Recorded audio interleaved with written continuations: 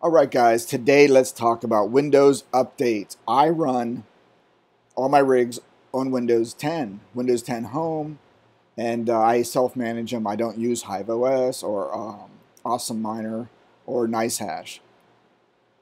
But the problem with that is Windows likes to do automatic updates and restart your computer automatically. And then you're like, what happened? Why is this doing this? Stop it. Stop it now. It's just very frustrating. So this happened to me uh, two days ago. I have Raptoreum CPU miners. I freshly built those within the past couple weeks. And I do update when I install Windows. First time I hit update, update, I get as much updates as I can before I'm happy and I kick off the miner, right? So I come in and go, why have I lost three miners on Raptoreum? I look at my uh, 011 data mining pool and I saw four. I go, what, what, what happened? So I go and I have a nice clean login screen. I do have auto logins on my CPU on most of my rigs because I don't I don't want to have to log in 50 times with my it just gets old. So I have auto login enabled through the reg, registry editor and there's ways to do that. I can show you that. If you're interested, post in the comments below if you want to know how to do that. If you can't find it online, I'll show you it's uh, three steps four steps. It's not that bad. But auto update is annoying because it took my rigs down. It took my um, crypto mining down, my Raptoreum mining. And you don't know. It's like, unless you look at the pool and say, hey, I'm missing three miners. What the heck? And same with Ethermine. It'll tell you you lost this many workers.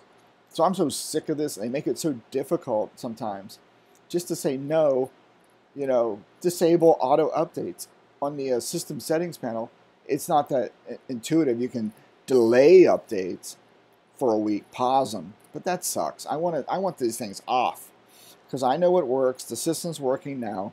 I want to control when I get the updates, if I want to get the updates. Because nine times out of ten with Microsoft, oh my God, you update, you're gonna break everything. It's like I don't know what kind of chicken crap outfit they run over there. It's just most of the updates are crap and they break stuff, and you're like, "What? Oh my God! You made all these custom settings," and then you update, and it just screws up your drivers, and you're like, "Oh!" And then you have a whole weekend of, "How do I get back to where I was before?" And so I hate updates unless I manually go through, say update, look at what's coming down, say, "Oh, security update." Okay, I'll do that. If I see drivers and I'm changing this stuff updates, no, I don't want to mess with that crap. That's why I like Linux. I should switch to Linux, and HiveOS is appealing, but I don't want to pay fees, so I'm not quite there yet. Uh, I am stuck with Windows. It works for what it is. I just want to stop these annoying features where they feel they have to basically nanny you and say, here's your updates. No, I'll tell you when I want my updates. Yeah, don't update if you never have to. If things are working on any system or any piece of software and you get the little pop-up that says update, no unless you really need it, unless you really, really need that update, do not do it because everything's working fine. If it ain't broke, you know, if it ain't broke, don't fix it. I mean, that's from my experience. Otherwise, you're going to spend hours going, "Oh God, what did I break? Or what broke?" And it's it's just uh, it's just not worth the uh, what the juice isn't worth the squeeze. So let's get rid of this banner here, guys, and we'll work our way into some fun time. So here I'm running two things. I'm running a CPU miner, GPU miner uh, mining 6600 XT, the Red Devil, the Red Devil, and I'm doing Raptoreum. So let's go in, and this is Windows 10 Home. What I do is you can type, this should work, and it probably won't if I could type services.msc. See that? I just type services.msc in the find. Go up, right click, run as admin. I think everything should run as admin. I don't understand Windows. Just run as admin because I'm going to do some system crap. So let's just run this thing as admin and get her done. All right, this comes up, the services window. It's kind of annoying. There's no find. And let's double check I speak out of turn. Nope. So what we're going to do well, you know what? Let's do Control F. Negative. Negative. All right, come over here, scroll down. I just go right to the bottom. and you see Windows Update.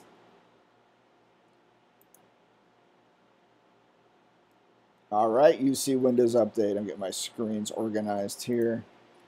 Uh, what you want to do is you see, oh my God, it's running. Windows Update is running. No, no, please, no, stop, stop. Mr. Bill Gates, please, I don't want it. Oh, Billy, Billy, Billy, Billy.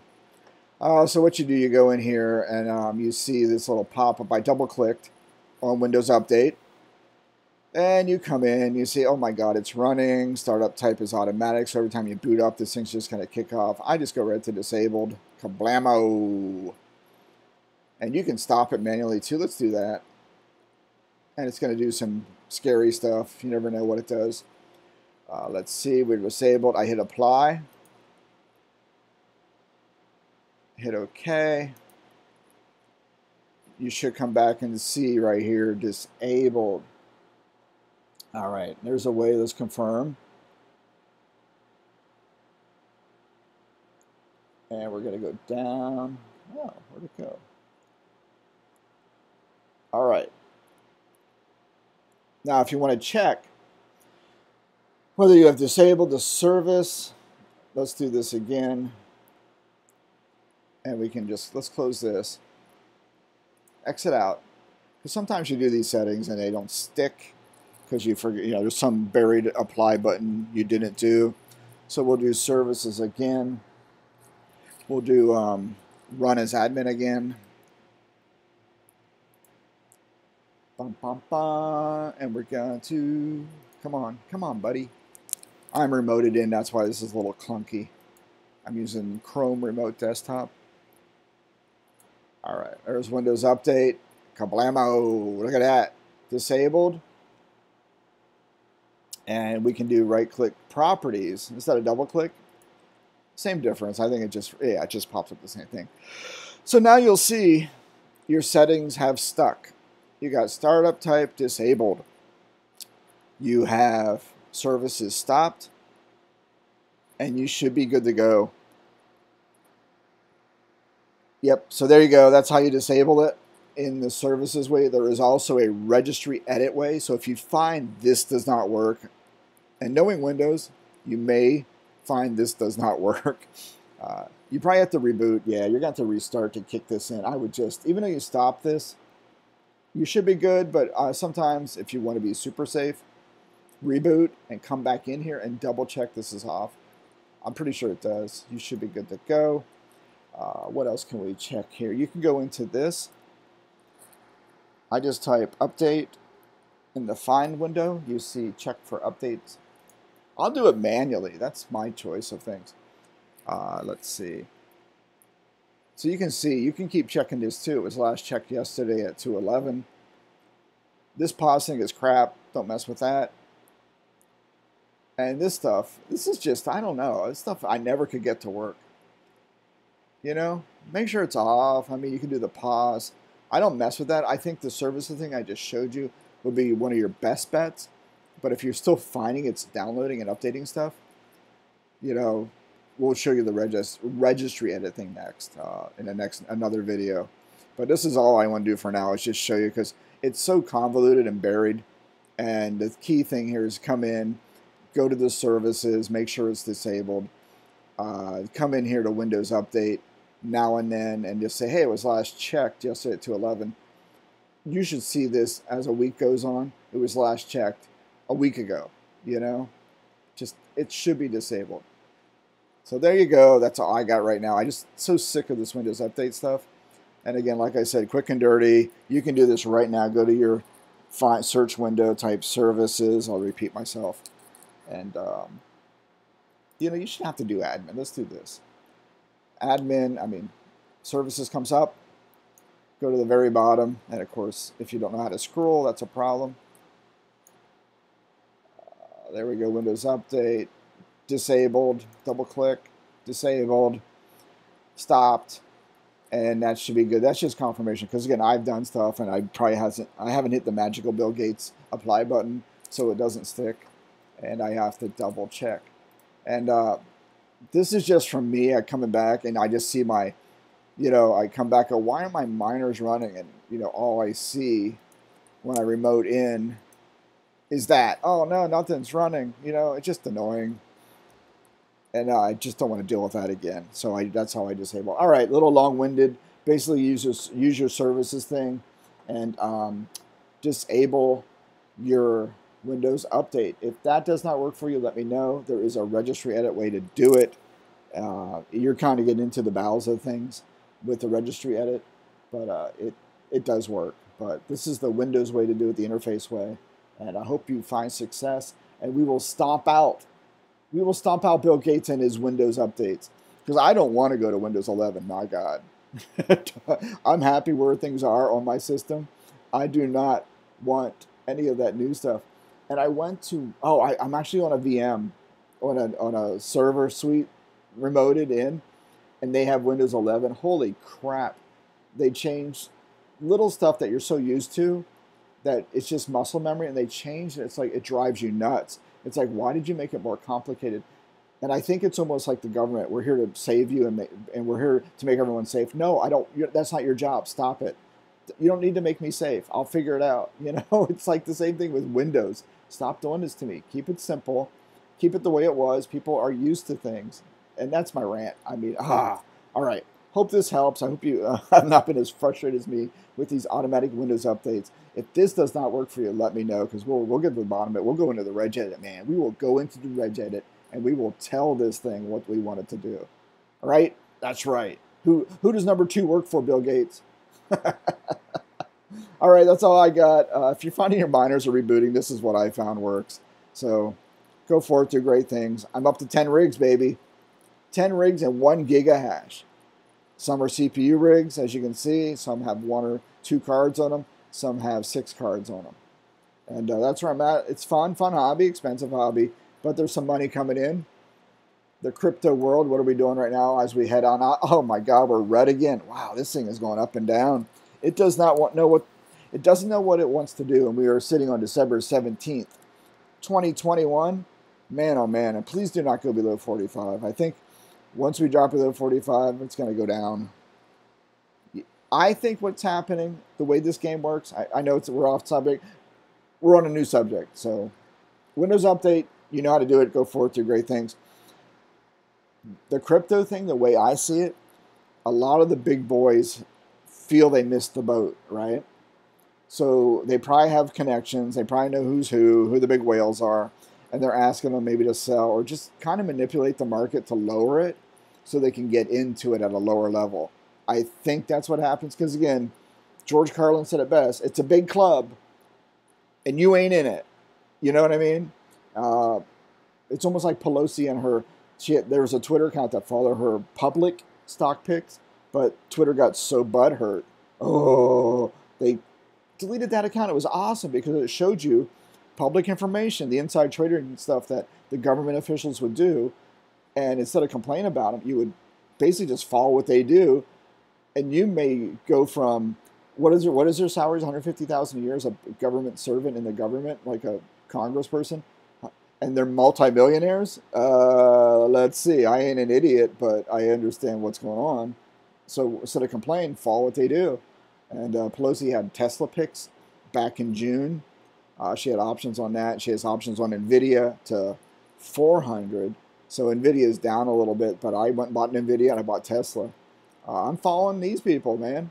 You know, they believe in insider trading, and she even made a comment yesterday. It's a free market, which it really isn't a free market because the government has their hands in the market too much. Regulation, bailing people out, the quantity easing crap with GM and all these stuff. And I think the only car company they didn't bail out was Ford. You know, good on Ford, but it's still a Ford. Yeah. I don't know. That's just my beef. So follow these guys, make the trades they make, and you'll be a multimillionaire too based on a basic salary. Go figure. So I think there's some manip- ah, manipulation going on there. So these politicians, these institutions can buy in. Look at Jamie Dimon. Isn't he J.P. Morgan or something? There, he's oh, he was so negative on this crypto crap, and now all of a sudden he he's changing his tune and I think all his uh, his clients are like, "What are you doing, dude? We're missing the boat." And so maybe there's some manipulation going on there to lower the prices so these people can buy in. and then let it shoot up to 100k. That's that's my hunch, but we'll see how it plays out because you know 2017 it, it tanked hard and everybody's left holding the bag. They bought at all time highs, which is what 16,000 back then, 20,000. Uh, you just don't know. You don't know. You either believe in it or not. One guy I uh, listened to on an entrepreneur show. He's a younger guy, worked at Google, saw the potential of Tesla at the time. He went all in on his. He probably let's say te- uh, Google. He's not making that much for where he lives in the, uh, Silicon Valley. I lived out there. It's overpriced, way overpriced. I don't know how people live. Even two engineers' salary, you're barely able to buy an apartment or rent an apartment. But he went all in with his say. Let's say he made one. I'm going to be conservative. Probably 140 in that area because Google's cheap. They don't really pay that well, and uh, he probably dumped whatever he had left over after paying the huge rent, and he kept buying Tesla, Tesla. He cashed out. He's retired. I mean, he's financially independent. Retired is the wrong term. Retired is you don't have to work for someone else. Job, just over broke. But um, yeah, he's uh, financially independent and does what he wants. But uh, yeah, either you believe in it or not, you go all in, and you put you know, or you just you know dollar cost average in. Uh, you could lose it all, right? I could lose it all. What do you know? You never know. We could get hit with an EMP pulse and everything's wiped. so you just don't know. All right, that's all I got. Long video about nothing. Windows Update. Yeah, that was the video. We're 16 minutes in. YouTube says to make 15 minute videos for some reason, so I did it. Yay, YouTube. Yay. All right.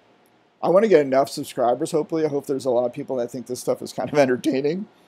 That if I get enough subscribers and enough watch time, I can then start migrating over to Odysee and Rumble and uh, Minds, all these alternative platforms because they're not as, um, what do you call it, authoritarian or uh, what do you call it? Oh, not tyrannical, but censoring as YouTube is.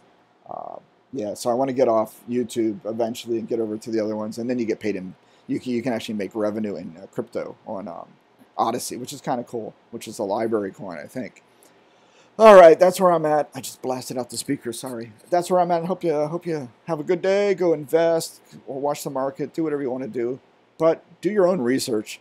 Uh, do not listen to people on the internet, no matter how much they seem normal. Do not, please do not. Do not. Do your own research. If it doesn't feel right, go with your gut and uh, follow your gut. Do not listen to some guy or some some person in front of a green screen yelling, "Crypto's my trend line analysis on crypto." And there's a couple shows like that where they get these young guys who are crypto SOCO savvy with their graphs. I'm like, dude, you don't have no idea what's going to happen. This is all snake oil just watch it for entertainment value because they kept saying 100k 100k by end of december and i'm just going dude it's going the other way man. Dude, you gotta quit looking at your stupid charts. But it fills an hour of entertainment and content on youtube. I get it. All these uh, you know TradingView charts of where it's been and patterns. It's like all right.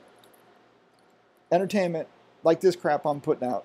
The only value in this video is windows update right how to turn the Windows update off and stop Bill Gates from destroying your lives with uh, his crappy Windows updates as you're trying to crypto mine. All right, go forward, do great things. I'm out. Stop recording. Stop, stop, stop, stop. Where's the button?